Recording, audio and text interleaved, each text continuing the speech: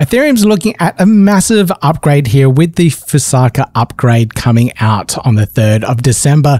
I'm going to look at some other headlines as well, what's happening in the Ethereum space, but this is some pretty big news. So make sure you hit that thumbs up, like, subscribe, and let's get into what's happening at the moment here.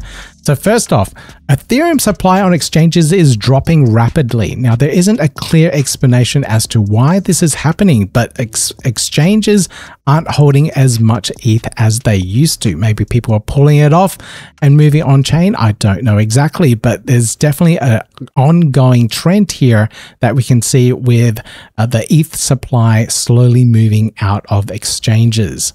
We also have seen this whale here cash in. And this is the whale trans transferred 120 million in ETH after 10 years of dormancy.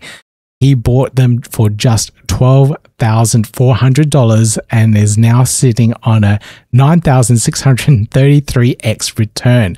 Life changing wealth on uh, with Ethereum. So good on this person, whoever they are.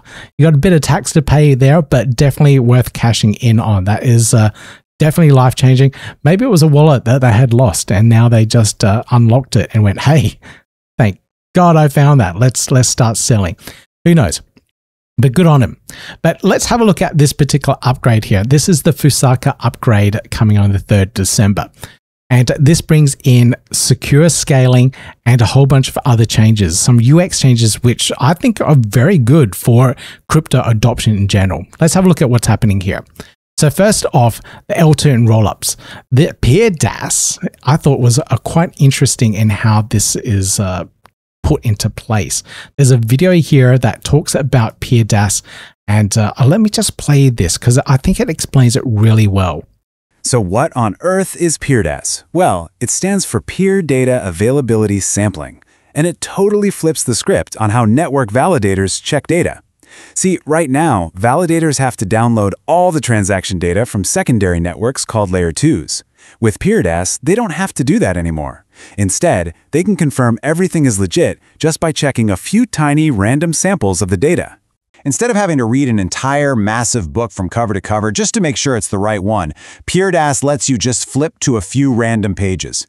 It's a mind-blowingly efficient shortcut that saves a ton of time and energy I'll put a link to this uh, particular video that goes through all of the uh, Fusaka upgrades as well. And I, I, I thought that bit there was pretty good to just highlight for explaining what this peer DAS is. So essentially, instead of downloading and looking up the entire history of the L2s that uh, need to be rolled up into the main layer, we're just looking at certain parts of it, certain sections and confirming that it is all up to date and all good. So that increases the amount of space that is available in blocks to make that L1 uh, more usable. You can cram in more transactions there. So that's a really nice improvement there. The other one that we have here is for apps and DeFi devs. Fusaka brings lower transaction costs with instant feel UX via based pre-confirmations. Lower transaction costs is definitely something that everyone wants. This one here is around the wallet side of things. And now the new R1 Curve and EIP7951, so that's Ethereum improvement proposal, are unlocking secure mobile native passkeys with simpler signatures. Now, this this one I absolutely love. So, if you're using a lot of modern websites, if you've got a Gmail account, for example, They've implemented in passkeys as well so that you can use a, a simple click and sign or a biometric to sign that it's you and be able to log into that particular ecosystem, whatever it is implementing that same level of security onto a wallet infrastructure makes onboarding even easier and even faster.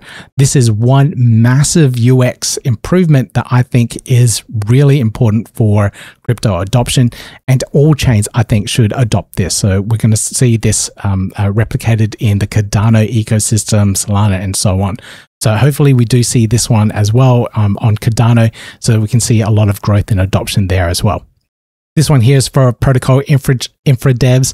Fusaka brings higher gas limits from 45 million to 60 million. So it gives you that much more headroom uh, for improvements there as well.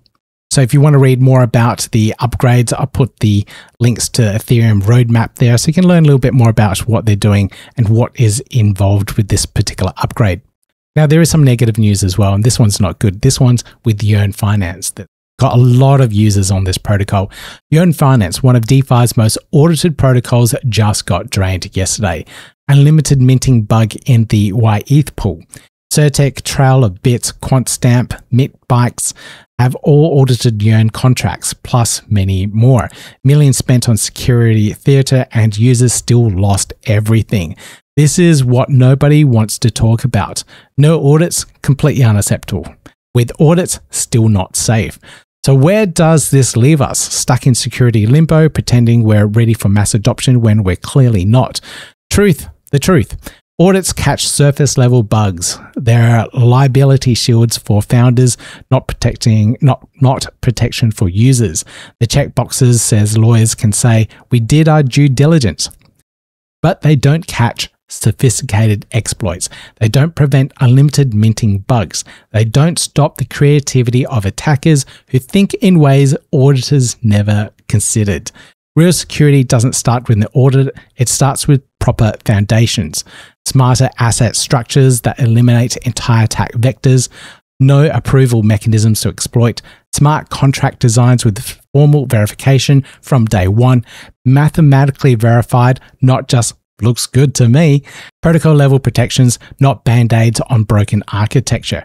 Chains like Multiverse X, Cardano, and Algorand build this in from the start. Native assets, not unlimited approvals, security by design, not by afterthought.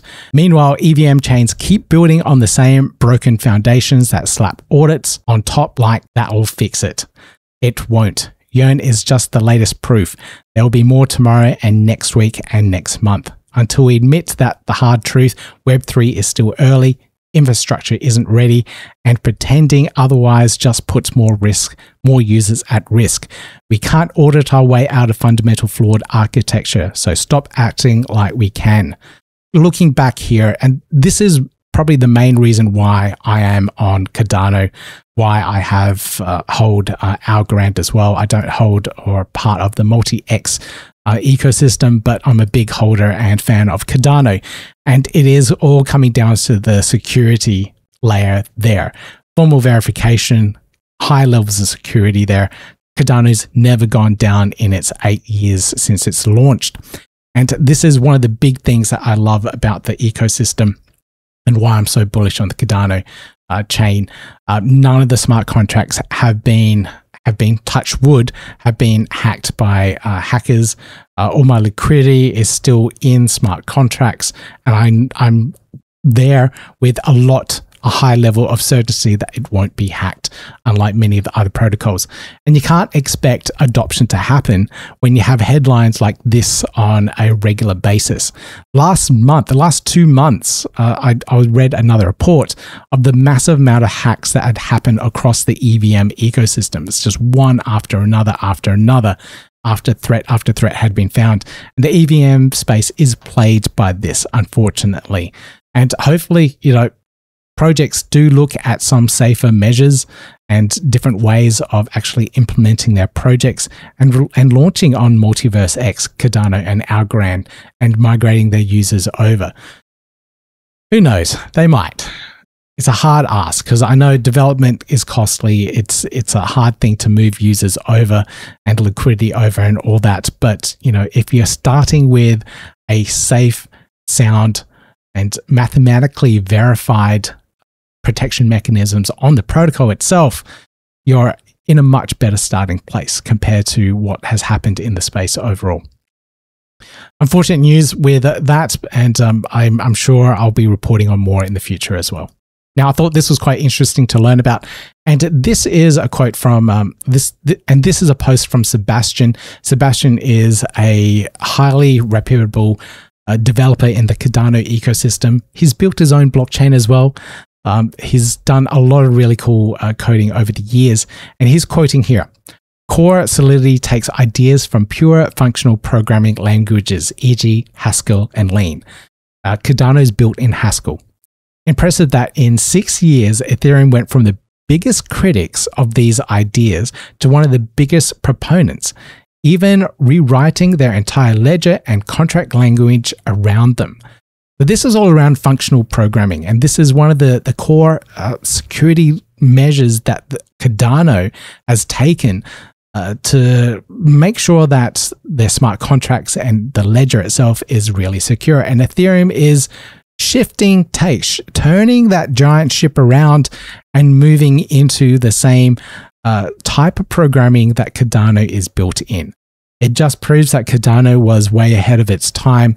Uh, Ethereum did get that uh, market edge first to market. Yes, congratulations to them.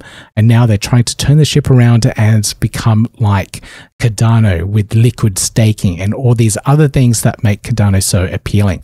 Anyway, if you want to read more of this post here, I'll put a link down below. It does get a little bit technical, so I won't go through it in this video. Okay, that's all I have for this particular update around the Ethereum space and this Fusaka upgrade. Congratulations to the Ethereum ecosystem on this. It's going to be a really good move for them overall. Will it move the price of Ethereum? I don't know. Usually, when big news like this comes out, you see like a bit of a spike and then a market dump afterwards when people take profits. That's usually the pattern that you see. And I wouldn't be surprised if we see that happen again. Always sell on the news, right? Buy the rumor, sell the news, as the saying goes. Anyway, if you got something out of this, if you enjoyed my content, please hit that thumbs up, that like, subscribe, and notification bell on your way out. I'll see you guys in the next video.